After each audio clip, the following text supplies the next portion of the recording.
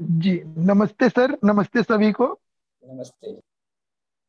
जी sir ये चिंतन शब्द जो है कंटेम्पलेशन सर जैसे अभी जो हम पहले इसके पहले चिंतन शब्द प्रयोग करते रहे तो उस चिंतन से सर इसको थोड़ा जोड़ना चाह रहा था मैं कि पहले जो जैसे चिंतन कर रहा था या मनन कर रहा था और ये जो चिंतन शब्द है ये उससे कैसे मतलब उस तरह से रिलेट होगा? या इसमें वो समाहित ही है वो वाला चिंतन या मनन सर जी उसमें इतना ही अंतर है जब हम नीचे से ऊपर जा रहे हैं ना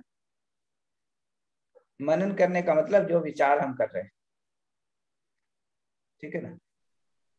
यस सर तो मनन का है। जो सुन रहे हैं बाहर से उसको श्रवण करें। ठीक है ना? यस सर जो सुन रहे हैं उसको श्रवण कहा है जो विचार कर रहे हैं उसको मनन कहा है। और उसके आधार पर क्या भागीदारी है क्या पर्पस है इसको देखने को चिंतन कहा है। ठीक है ना? यस सर फिर उस वस्तु को देख लेना जिस पर ध्यान दे रहे थे उसको निधि ध्यासन का है। तो पहले जो है उसका मतलब ये है कि उसका क्या पर्पस है उसको देखना। अभी जो चिंतन शब्द का प्रयोग कर रहे हैं वो ये कर रहे हैं कि जो पर्पस है वो हमने देख लिया। इस अर्थ में चिंतन का प्रयोग कर रहे ये सर तो ये मतलब जो मनन की बात कर रहे हैं वो इधर से नीचे से ऊपर की तरफ़ जाते समय है और जो इस चिंतन की कंटेम्पलेशन की बात कर रहे हैं ये ऊपर से नीचे आते समय की बात है अनुभव से इधर की तरफ़ ऐसा सर?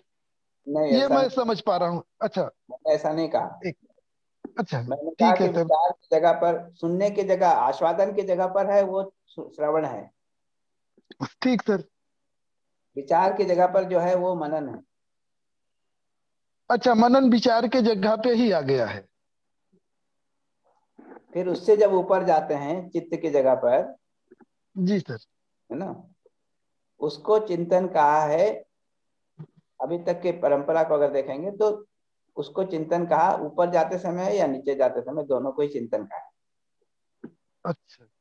तो कोई इकाई का क्या भागीदारी है क्या पर्पस है क्या रोल है इसको पहचानना ये चिंतन है। ठीक पहचान लिए हैं या नहीं पहचान लिए हैं दोनों को ही चिंतन का है। ठीक सर तो जाते समय जो चिंतन है वो वो वाला है जो परंपरा में चिंतन शब्द प्रयोग किया गया। और ये जो कंटेम्पलेशन है ये मतलब यहाँ से जब ऊपर से समझने के बाद वाला मतलब चिंतन है। हाँ तो पहले किया जाता है चिंतन का वो दोनों है कि हमने समझ लिया नहीं समझा है ना? पर्पस को। अच्छा ठीक सर। दोनों पर जो विचार हो जो ध्यान दे रहे हैं वो चिंतन है।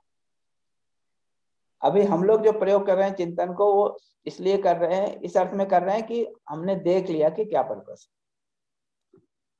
इतना ही अंतर है। ठीक है धन्यवाद सर बहुत बहुत। धन्यवाद। जी।